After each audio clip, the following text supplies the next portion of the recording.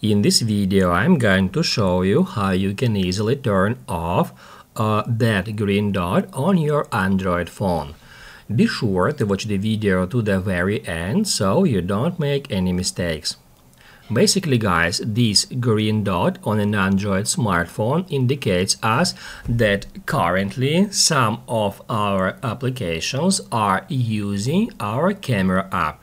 As you can see now I'm on camera app, we can switch between uh, main camera and frontal camera and uh, green dot green dot is still displayed here. However, once we close camera app, it will also gone. And now let me show you how we can easily get rid of this green dot. So guys, first off, we need to head over to settings.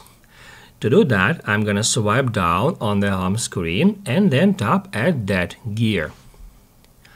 Once it is done, we need to scroll down to the very bottom, where at the very last position, just under the About phone, we need to find Developer Options. If you can see it here, it means that it is turned off, like in my case. So first off, I'm gonna show you how we can easily turn on developer options on our device. To do that, we need to get into About Phone and then Software Information.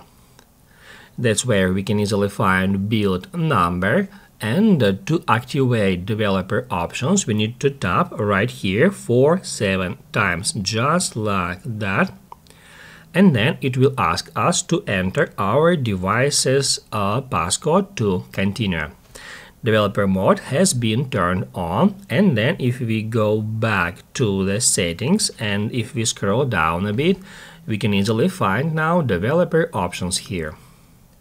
Then, once we get into developer options, we need to scroll down a little bit until we find quick settings developer tiles. And that's where we can easily find sensors off. So guys, first of all, we need to activate that option and what that will do, that will add this sensor off button right over here to that control tab and then uh, by enabling or disabling that option we can turn on or off using sensors on our device.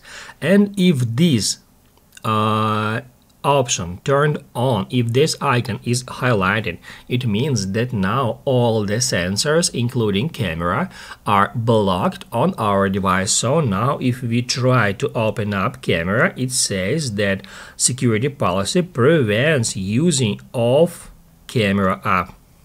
So as of now once sensors option is active, none of the apps are able to use our camera until we uh, turn this option off, just like that. If this video helped you out, don't forget to hit the like button.